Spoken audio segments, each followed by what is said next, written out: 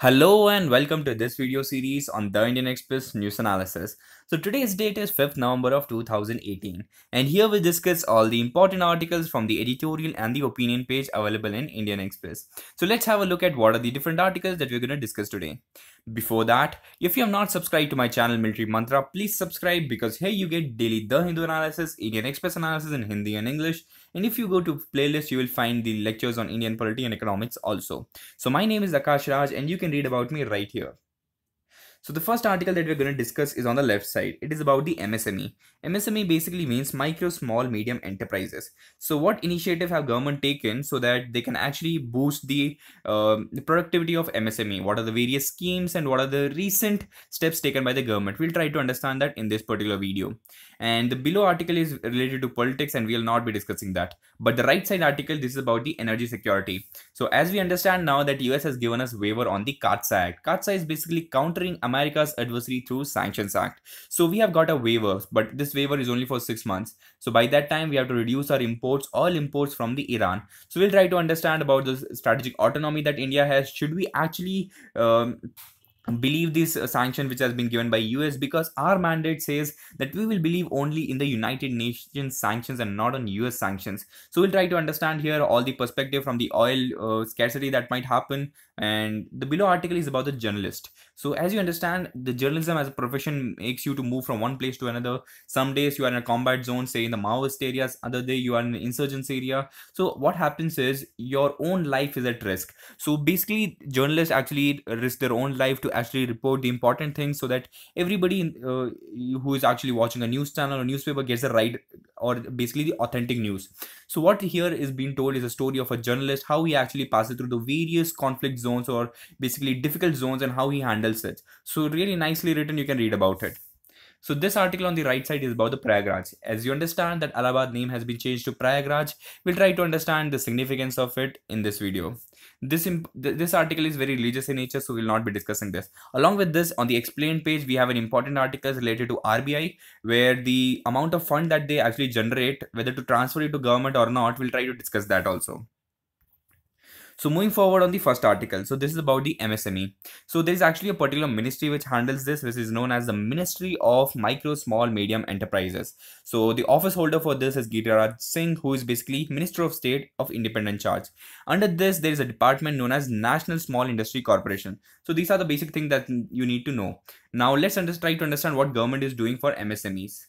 So the first thing that the government is trying to do is to provide them the credit system what does credit means? Say you want to start a new business and you want a loan so you can go to the bank and you will get it within the 59 minutes. So this is a new scheme that they have implemented for msme in order to understand why is government doing so many things for them you need to understand way back in 2016 when demonetization happened then followed by gst implementation. So what happened was they these msme faced a lot of problems. Say most of the laborers who work here they, they used to get payment in hard cash but the cash was in limited amount. So that's the reason they were unable to pay the laborers and also credit uh, system also actually destroyed. Also once gst was implemented they have to regulate uh, all the tax payment and also the compliance which has to be done has to be done. And they have very limited number of people to actually do it. So that's the reason they actually face a lot of problems when it comes to paying the gst taxes and even the demonetization. So that's the reason why government wants to help them. So under this we already have a scheme known as the pm mudra yojana. So here you get loans based on the amount of turnover that you have. So based on that you get the credits. And the next thing that you need to understand is uh, as you understand the npa that is the non-performing assets in the bank is increasing. But you need to understand here that the role of uh, msme in these npa is very much less. So the they are not actually amounting for the npa so that's the reason we can actually give them the loan because they are not going to default. Also if they're not taking the loans from these banks from where are they getting the funds from? So they usually get it from the nbfc what is nbfc non-banking financial corporations. So these are basically shadow banks which actually give them loans. But as you understand right now the uh, the amount of faith that people have on nbfc has reduced after the ilfs that is basically the infrastructure leasing and financial company has actually defaulted. A lot of trust from the nbfc have gone down. That's the reason why rbi is trying to infuse money into the market so that nbfc can also come up again. So that's all the things that are happening. So before that let's try to understand holistically what are being done for the msp so the first thing that we're going to do is to give them access to the credit. Say they want a loan they'll get it easily. As i've told you about they'll get it in 59 minutes. Then comes the access to market. Because whatever you produce it can be screw nut anything it should have a market for it. So government will help you get the market the transportation the logistic help or everything will be provided. The next thing is the technology upgradation. Because if you want to produce a product which is of optimum and the highest quality you need to use the advanced technology. For that you need to upgrade your machinery. For that they have implemented for the um, providing more tools tool room in an organization so that they can build more and improved quality products. Moving forward as we know that ease of doing business our ranking has improved to 77 so what we can do right now is uh, we can actually help uh, get clearance very easily. Say you want to get an environmental clearance land clearance you can get it uh, easily by using only one body. There should be one body which will actually regulate all the pollution that happens. All the clearance that has to be given should be given by only one body. Then moving forward is security for the employees. Because sometimes business doesn't work well but the company has to stay. It shouldn't get insolvent. So that's the reason actually government infuse a lot of funds into it. They give them more credit so that they can actually generate more revenue out of it and the next article that we're going to discuss is about the energy security. So here we understand that uh, India recently got a waiver. Along with that, many countries got it, like say South Korea got it, Japan got it. So what we're trying to understand here is this is not the first time that actually these sanctions have happened or the energy security is under the crisis. So even in 1973, when there was a war going on between the Israeli and Arab and the West, that means the US and Europe were supporting the Israel. So what happened was Arab nation didn't like it. And that's the reason they actually raised the price of the oil. So the whole world has to pay for it. And the next thing what happened was 1990, there was a Gulf War. And then in, during that Gulf War, we didn't have, India as such didn't have enough reserves to actually sustain because we didn't have so much of reserves to actually store petroleum. We had uh, petroleum only for the next 3 days. So uh, to take a cue from them what we did was now we are developing petroleum reserves in various places. You can take an example of we are building it in andhra pradesh we are building it in mangalore we're even building it in rajasthan. So we are building reserves in various places. Also after 2003 when actually saddam hussein was hanged because it was suspected that he's actually developing weapons of mass destruction. That's the reason. And arab nation didn't like that also. So that's the reason they increased the price of oil again. So right now what is happening is once america has decided to come out of jcpoa which is basically joint comprehensive plan of action also known as Iran nuclear deal. So they are trying to come out of it. They are trying to put sanctions on Iran. So they are trying to convince most of the countries to actually stop or try to reduce the oil import that they get from the Iran.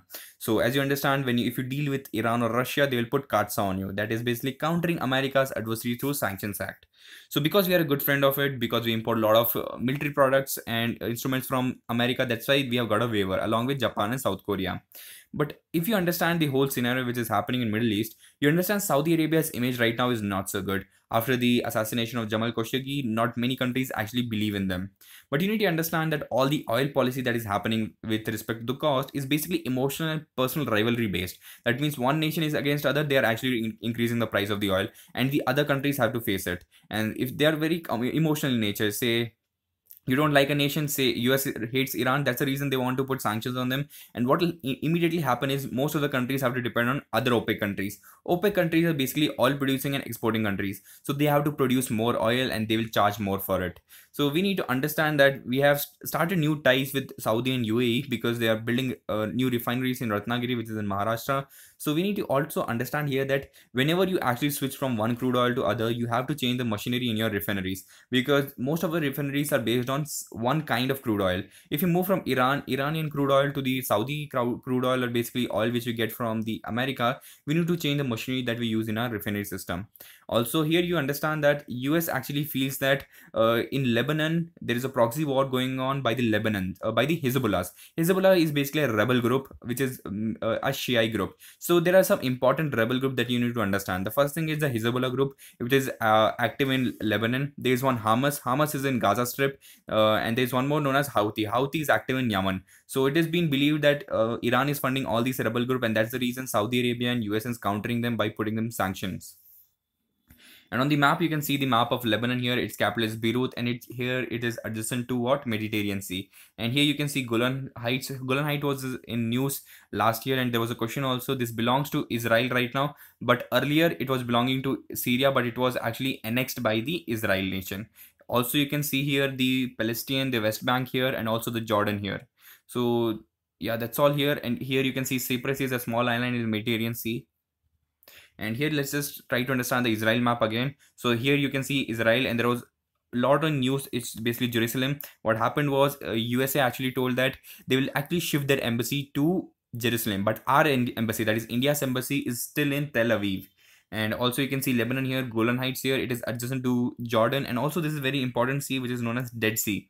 And if you see closely what you'll see is basically the West Bank here. Here you will see West Bank and followed by here you see Gaza Strip. I told you about Hamas. So people who live here who are basically rebels are basically Hamas and in West Bank they are known as Fateh.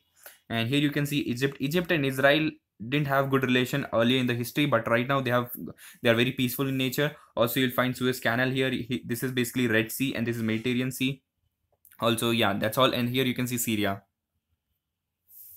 and the next thing that we're going to discuss is about the RBI. So as you understand that government is interfering in the work of RBI. How is it interfering? Say RBI wants more autonomy and regulatory uh, power when it comes to regulating the public sector bank. So government is trying not to give them. The second thing is government has brought in a new committee which suggested that they should make a new body for the payment regulation. But rbi didn't like it because they thought that payment is basically a small part of banking itself. So they have been regulating it ever since 1934 and even now they want to regulate it. So that's the second thing. And the third thing is government is trying to actually move the uh, revenue that they generate from there from the RBI reserve to their government coffers. So government coffers it belongs to the government which they use to implement schemes to give the farm loan waivers. As you understand, the politicians basically aim is very short term because they have to get elected for the next five years also. That's the reason they actually focus on the short term goals. Whereas RBI, they are technocrats. They are basically the coming from domain knowledge and they actually look for the next 20 year terms that economic prosperity of the country should sustain for the next 20 years. That's the reason they have long term plans.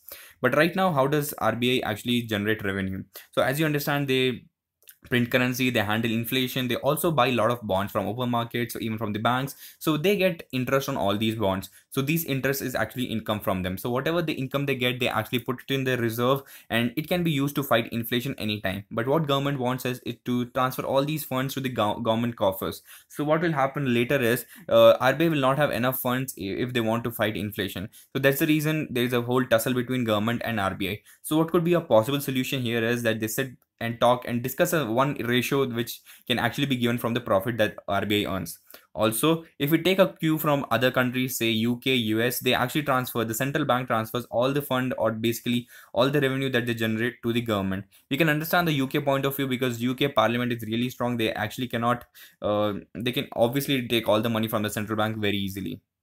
Uh, since RBI is in a lot of news, you need to understand it was formed under the RBI Act of 1934, and when it began, it actually had its founded in Kolkata, but right now the headquarters is in Mumbai. And next, we'll discuss about the Prayagraj. Prayagraj is a recent name of Allahabad. Uh, earlier, it was also known as Prayag. Prayag basically means the meeting place as you see in this particular uh, picture here you see yamuna here you see ganga and there's one more uh, mystical river known as saraswati so this was known as triveni but right now because it was known as triveni it was also called as the abode of the god by the uh, Akbar. So that's why he used to call it as Ilabad. Ilabad basically means the abode of god. Or, and later on, Shah Jahan changed the name from Ilabad to Allahabad. And right now, the recent name is basically Prayagraj and you can read about Allahabad right here. It is basically located in Uttar Pradesh and it is very much in news. So you, you need to understand the location of it. And that's all for today, guys. Just revise everything that we have studied. We first understood the name change of Allahabad to Prayagraj. We understood how surplus tran uh, transfer of fund from RBI to government can take place, and also how actually can we deal a hit, uh, hit a deal where we can actually decide how much money should be sent to the government. Then later on, we discussed about the Lebanon Israel area because of our energy security that we are going to face right now because Israel, uh, because we get most of the oil from the Iran, we have most of our refineries based on Iranian crude oil. So how exactly we can switch in the next six months? And next we discuss about MSME, how government is actually trying to help them. We understood about the Mudra scheme and various contributions, say the 59 minute loan credit scheme, all this we studied here. So that's all for today guys. I hope this video helped you a lot. If yes, please like this video and subscribe to my channel and share this as much as you can with your friends. Thank you and have a nice day. Jai Hind.